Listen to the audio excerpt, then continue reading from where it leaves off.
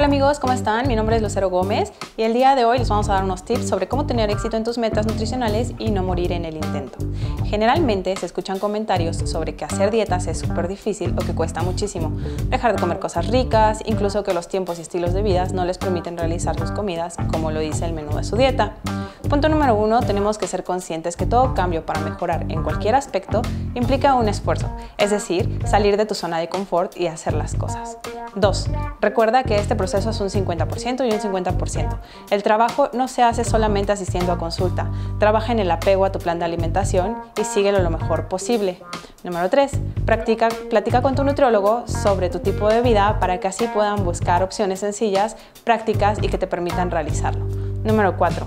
Deja las excusas. Deja de buscar al mejor nutriólogo o al mejor entrenador y comienza a hacer y a trabajar en la mejor versión de ti mismo. Olvídate de los pretextos.